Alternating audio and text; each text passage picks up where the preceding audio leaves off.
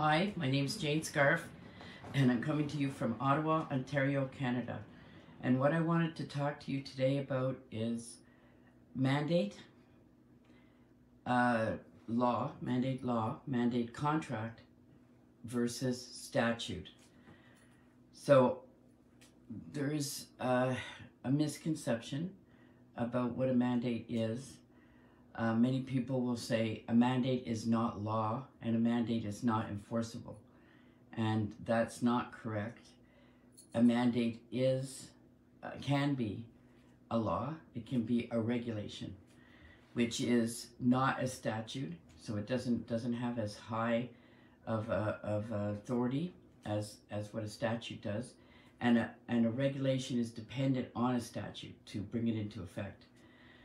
Uh, so mm, still uh, not clear exactly what diddling they did to create a regulation into a statute. I, it didn't appear to go through the, the proper procedures, but they're acting now as though the ROA is uh, is a statute. And it started off as a regulation under the Emergency Management Civil Protection Act and we have no more state of emergency. So what they're doing there, and I don't think any of that's going to hold up. Like if you have tickets under that, it's like easily, and and plus it violates all kinds of rights. Those those those bylaws like masks, uh, vac- vaccination passports, um, lockdown, all of that violates rights and clearly and a, a bylaw is how it's it's enacted. So I always say rinky-dinky bylaw is going to override your rights? I don't think so. Anyway, then there's another kind of mandate, which is not a law, uh, which still may have some enforcement capacity because it's a contract with the government. So they may be able to fine you, for example, if you don't adhere to the contract mandate that you've engaged in.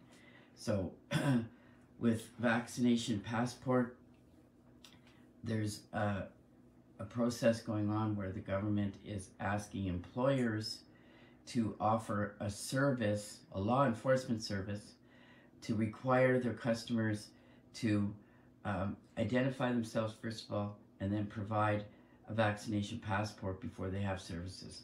So there's even eh, like a, a, a sanction being applied by the employer uh, that's being asked of them because they're being asked to da da da and don't provide services if you don't get the pass.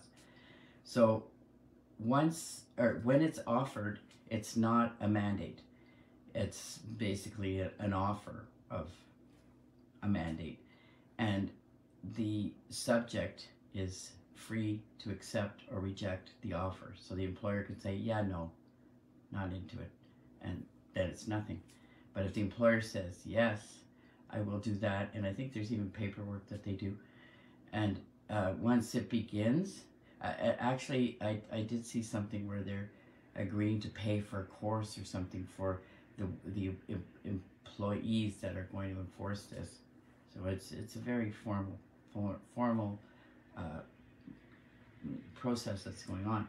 So once the employer does agree, it is a mandate.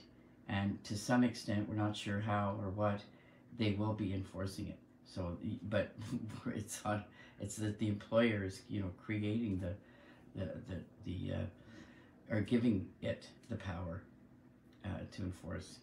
So, the short answer is uh, mandate is law, but it's not statute and it's subordinate law and it is enforceable, but it's also challengeable, very challengeable, especially when it's full of uh, violations, including criminal code violations when you do these things, because it's uttering threats, it's extorting, you know, trying to make people do things they don't want to do.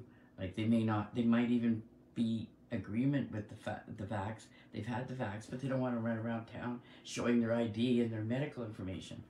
You know, so by saying we can't have service, that's pressure to do something that you don't want to do. And of course, it's also like designed to be pressure on the on the person who who uh, doesn't want to have the vaccination either. So uh, there you have it. It's uh, it's not easy to understand because it's very complex, and I, I think it's made complex on purpose. You have three elements of the vaccination passport going on right now. You have um, you have uh, Directive Six, which is a public health directive under the the uh, Health Protection and Promotion Act, uh, which is directed towards healthcare workers, employees, but yet OSHA says that employers cannot require medical information from their employees unless there's a court order, a tribunal decision, or a statute, not a rinky dinky bylaw or a directive or whatever, like it's statute. So, uh, and, and also the um, Health Promotion and Protection Act says if there's a conflict between their act and OSHA, OSHA prevails. So basically Directive 6 is nothing. Puff and, puff and smoke.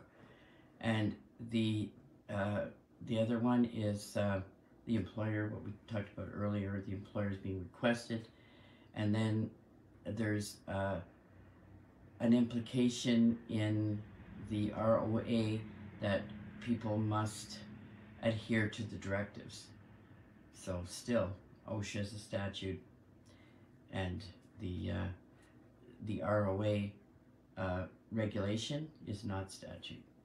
So that one really is challengeable. It's it's they're enforcing it, so I can't say it's not enforceable. It, it is like they are enforcing it, but you can challenge it because it's not valid. Like the whole thing is not valid. Uh, ultimately, in law, like the, the principle of law is that we're all supposed to agree to it at some point. So that's why the formal, you know, just debate and voting three times and royal assent and public consultation, that's why we have that. And, and we certainly never uh, agreed to allow a sitting government to just willy-nilly override your rights.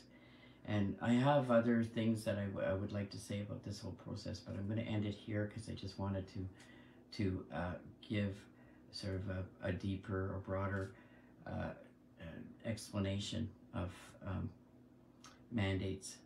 So you have, just to sum up, you have statute, which is the highest form of law, and then you have regulation, which is a subordinate form of law, and that subordinate form of law is a mandate, is considered a mandate.